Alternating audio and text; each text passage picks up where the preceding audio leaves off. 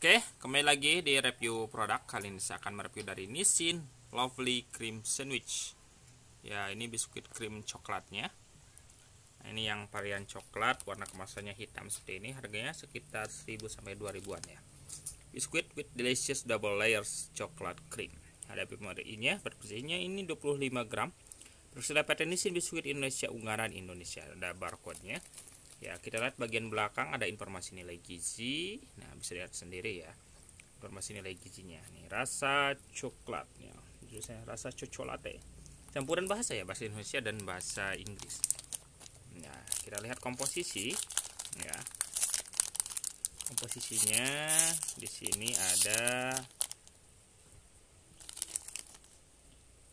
tepung terigu, lemak nabati, gula, susu bubuk, glukosa pengembang, coklat bubuk, sirup glukosa, kakao masa, garam, perisa artifisial, coklat dan mentega.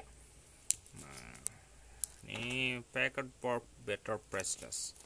Nah, seperti itu dari segi tampilan kemasannya, ini dari Nissin ya, Lovely Cream Sandwich rasa coklat.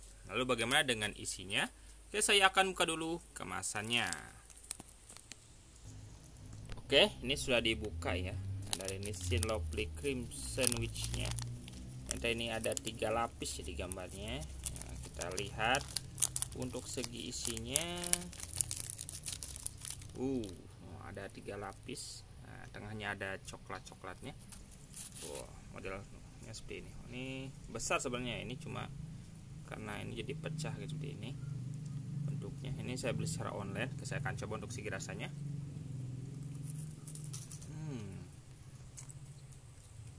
enak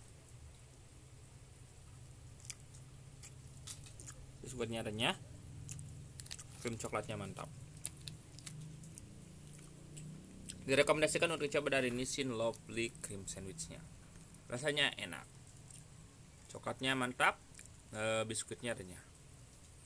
Oke mungkin sekian review produk kali ini. Bagaimana pendapat kalian? Silahkan sampaikan di kolom komentar. Jangan lupa untuk like dan subscribe Agar tak ketinggalan video-video terbaru dari Tafakur Sampai jumpa di review produk lainnya. Bye!